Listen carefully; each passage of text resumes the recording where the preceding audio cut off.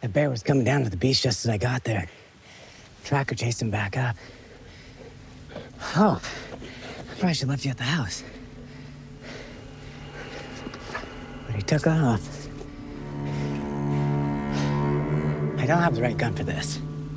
It's hard to. It's hard to sight in on the bear with, with a scope when he's close. Yeah.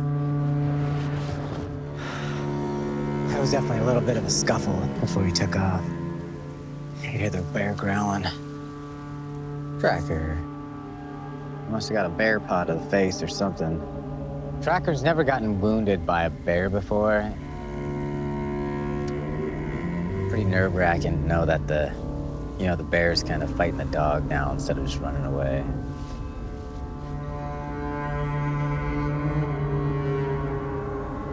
Good dog. Good dog. If bear killed Tracker, I would be heartbroken. He is my best friend. I think I'll run back to the house and tie the dog up. Be rather good.